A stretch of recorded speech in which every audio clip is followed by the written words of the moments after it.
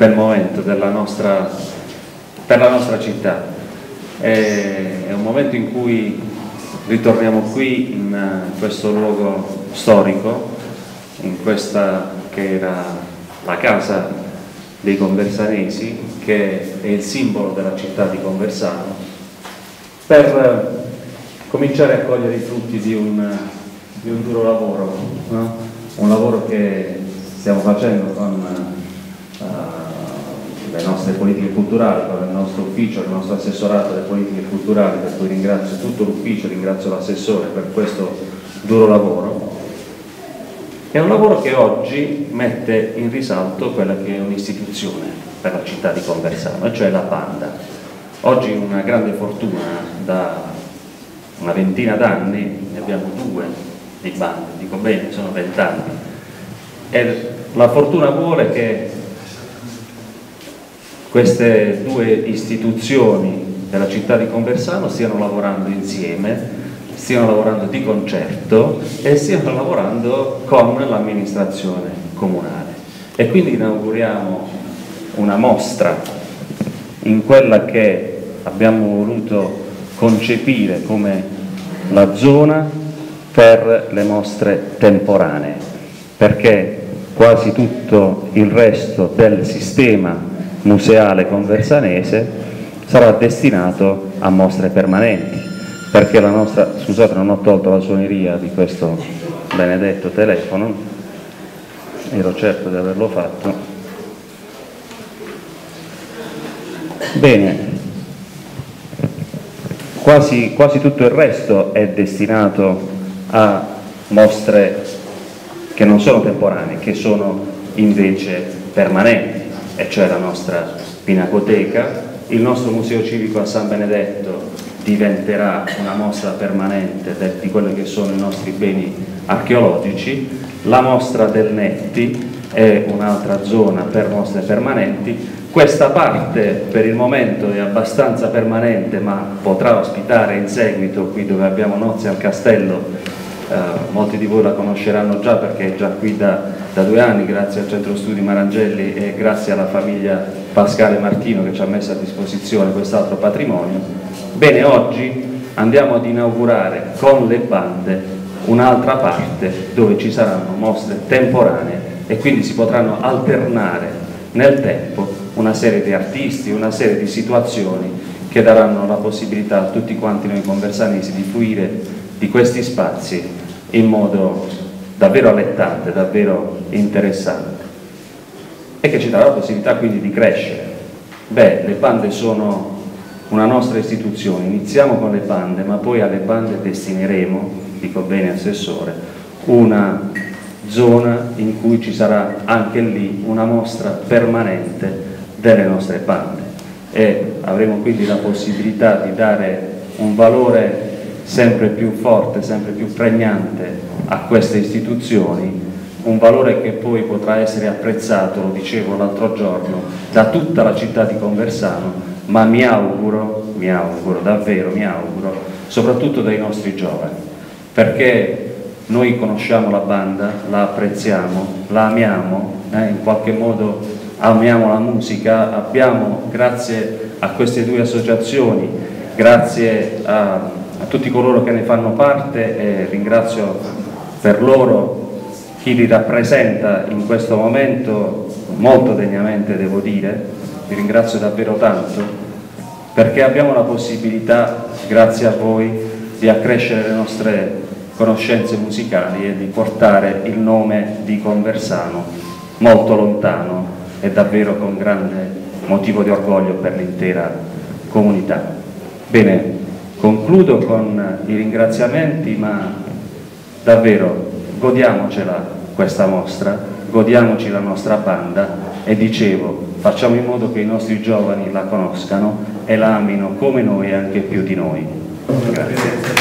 Di andare a godere eh, della mostra, vorrei che dicessero qualcosa diciamo accoglienti e non abbiamo finito qui. La fase successiva sarà ovviamente poi adesso di stipulare le convenzioni con tutte quante le realtà con le quali stiamo ovviamente collaborando. Però il ringraziamento veramente di cuore va alle due associazioni, ovviamente ai due presidenti qui eh, presenti ma tutti coloro che sono dietro l'associazione che garantisco sono assolutamente capaci e che ci danno una mano quotidiana. Non è stato facile censire tutto il patrimonio per decidere quello eh, che andava in questa mostra esposto, anche perché non sbaglio quando dico in questa mostra, l'idea è che quando apriremo la sezione definitiva della nostra delle, delle nostre bande cittadine, sezione del territorio così come definita, nella quale sezione ovviamente sarà presente anche eh, la sezione degli ambiti storici che vedete qui sulla sinistra, noi avremo la capacità, per quanto è grande il patrimonio, di rinnovare questa, eh, questa esposizione all'interno della sezione quasi ogni sei mesi, quindi immaginate che per gli stessi conversani, se ogni sei mesi dovessimo venire a vedere questa mostra non ci annegheremmo mai. Immaginate quanto è grande il patrimonio a cui ovviamente le due associazioni possono eh, attingere e tutti quanti noi per tutelare il nostro patrimonio locale.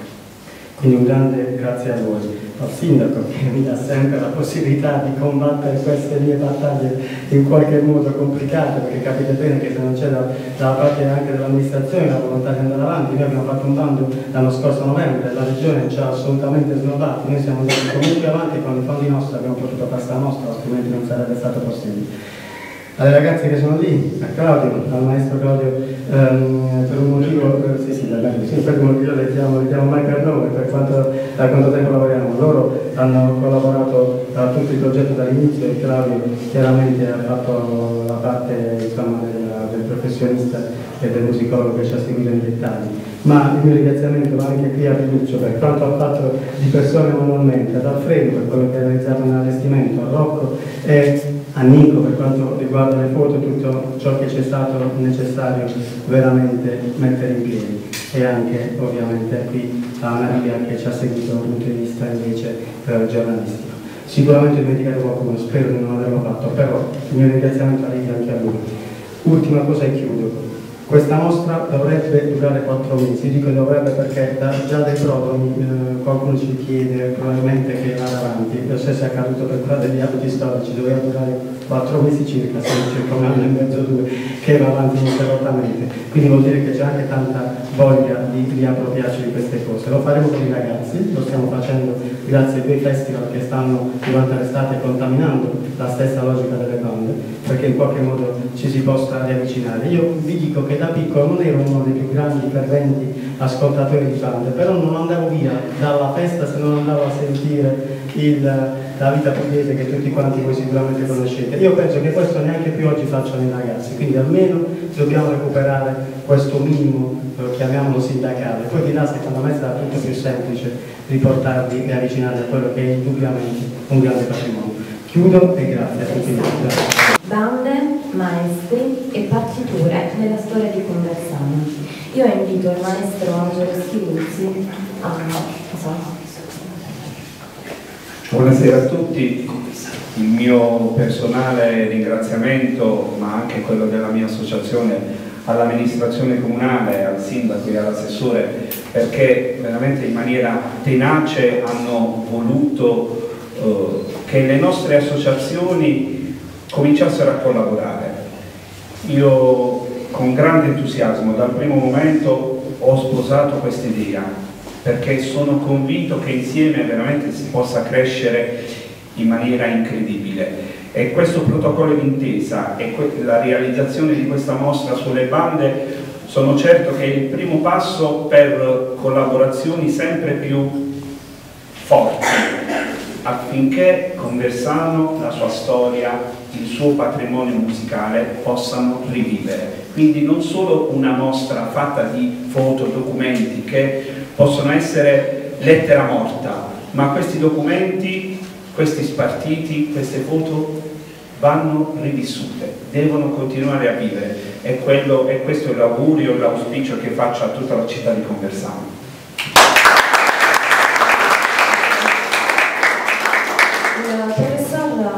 Eh, Ruggero Piumo è l'anima dell'Associazione Musicale Culturale eh, della Piantoni.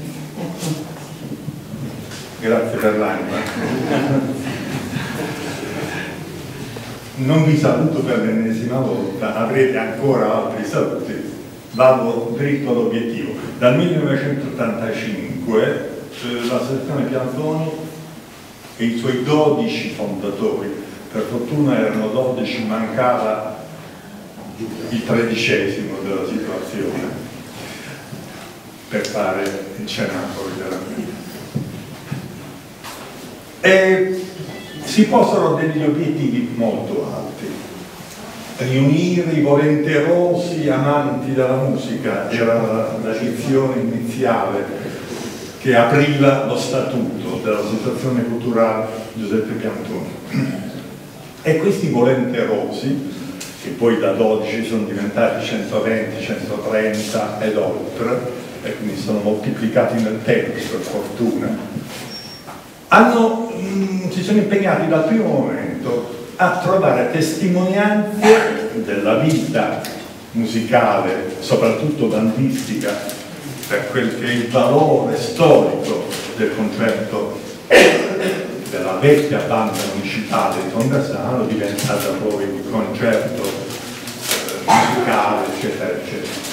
E dal 92 poi alla dizione Giuseppe Cantoni, così come l'altra, fa riferimento all'altro grande maestro delle bande condensanesi, Gioacchino Di Monti.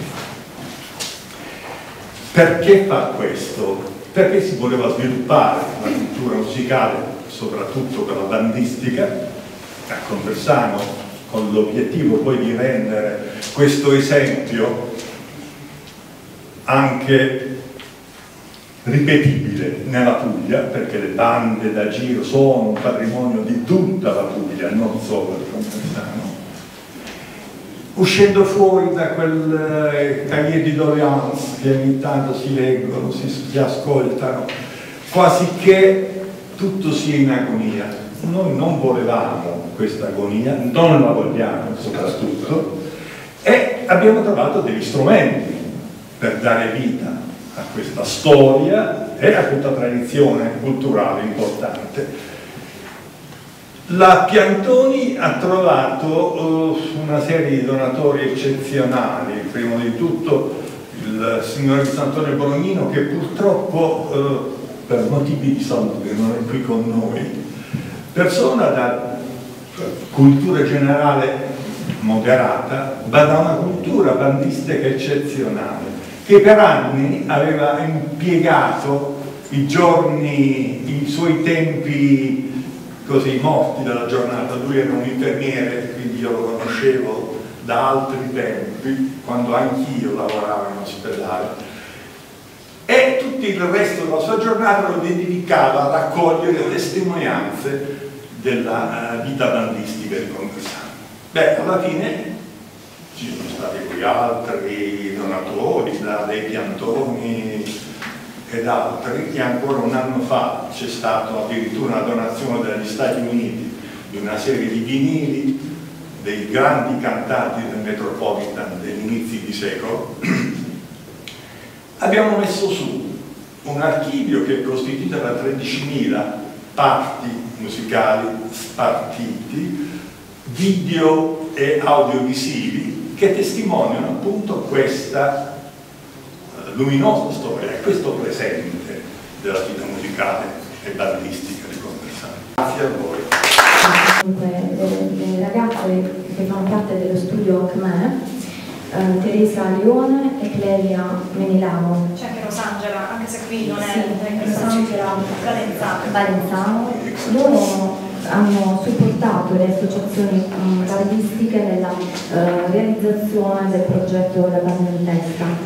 E naturalmente Claudio Del Medico che ha eh, studiato i documenti, ricercato in biblioteca, nel seminario, a caccia delle, delle curiosità Tanto è vero che eh, grazie al suo lavoro è stato, e naturalmente nella consulenza dei maestri, eh, realizzato anche un, una guida, una guida che non è semplicemente un elenco di, di date, è, proprio, è appunto una ricerca storica che ci permette anche di analizzare, di, di capire qual era il senso eh, per, per, la città di Conversano, eh, il senso della banda, quindi come, come nasce, perché viene istituzionalizzata, ecco, questo... Guida freschissima da arrivo perché, da, perché da domani sarà anche disponibile, uh, si potrà insomma vedere qui.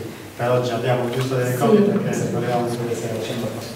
Va bene, io Sì, penso che, sì, penso che sia tutto, io vi ringrazio per essere presenti qui, se vogliamo fare un altro applauso insomma ai